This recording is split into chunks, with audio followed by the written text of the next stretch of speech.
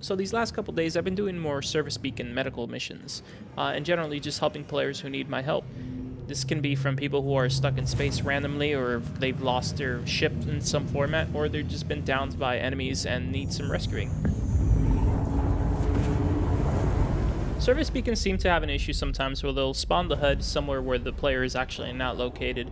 The only way I found to circumvent this was inviting the player to a party and then jumping to that beacon. There's also a bug with service beacons where medicals won't be fulfilled, so you won't get paid for doing any of this, but really, it's more for the fun of the activity rather than the payment. After some time of trying to figure it out with Sambo, I eventually got him at a party and was able to locate him and get to his position. Now, it still won't show where he is on the ground until I get close enough, so I have to do some communication with the player to kind of get an idea of where he's actually located inside. Now, you need to be careful when approaching these depots because they're usually hostile to players and will shoot on sight. There's two ways to approach. You can either blow up the turret, or you can take the more civil approach and just park behind the turret in a spot where it can't shoot at you. Unfortunately for me, this is not the back of the turret, but the front.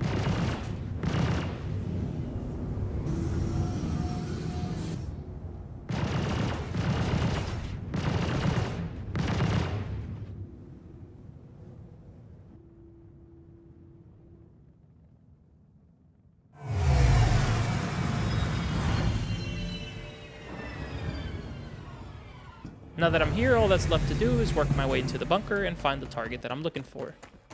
So the danger with these bunkers has to do with the AI being kind of random. You have to be careful as you navigate this and make sure to check your corners, as sometimes the AI will just stand there and really not do anything or miss all their shots at you, and sometimes there'll be G.I. Joe snipers that just snap you in the face in one shot blink of an eye. Always perform a weapon check as well, as sometimes Star Citizen will think that you have no ammo inside your mag. This is just easily done by reloading real quick. No game, no! Oh shit, he's gone.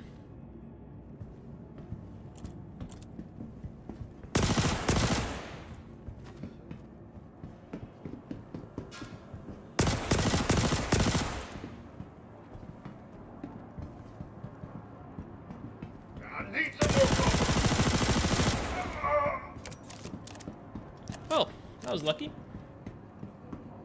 Once I've cleared the area of AI, I start to go look for the target. Once I found him, I first cleared the area within his vicinity to make sure there was no other AI hiding in the area. Once I felt that I was safe, I went ahead and started to heal him.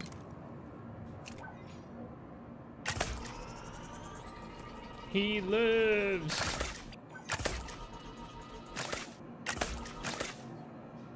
From here on, it was just about escorting him to my ship so he can use the medical bay to replenish any food or water that he needed or heal him any further if needed and uh, get him back to a station where it was safe.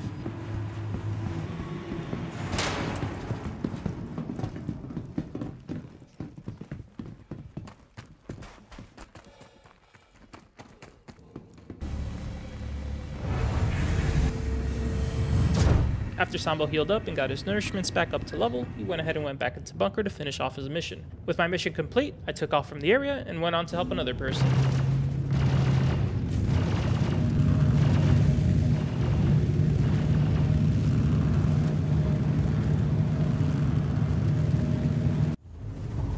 With this other mission, I was having the same issue where the HUD wasn't displaying correctly. That said, we had invited each other to a party, but it was still showing it outside of Lyria. I ended up warping to it and immediately put me right inside of Lyria. Oh, I'm dead. Oh my god. What? What is this? Oh, I'm fucking dead. I'm fucking dead. What the fuck is going on here?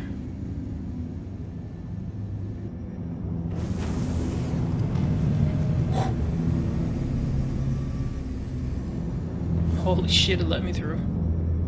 Thankfully, going through the ground, it didn't blow me up, so I continued with my rescue mission. Another thing to watch out for when you're doing these bunker missions is the possibility of civilians being inside and also security forces, which will give you a crime stat if you shoot at.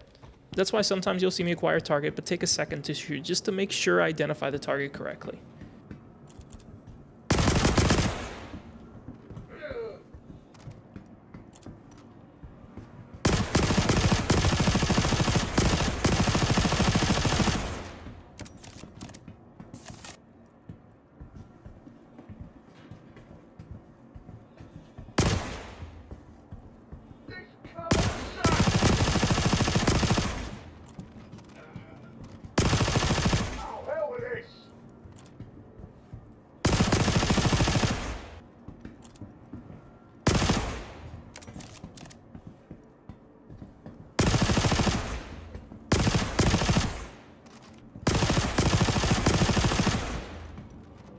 My lord, boy was doing some work in here.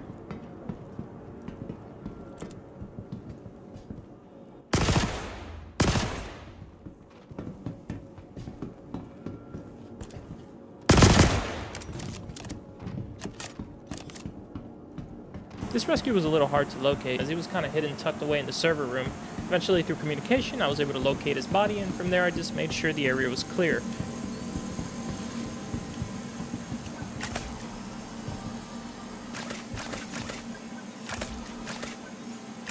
From here, Dami was pretty set, so mission complete. I headed back to the station and just hung around for some more missions to do. Thanks for sticking around and watching. If you like this kind of material, don't forget to like. And you can always check out my videos for some tutorials and other gameplay footage as well. With that being said, catch you on the next one.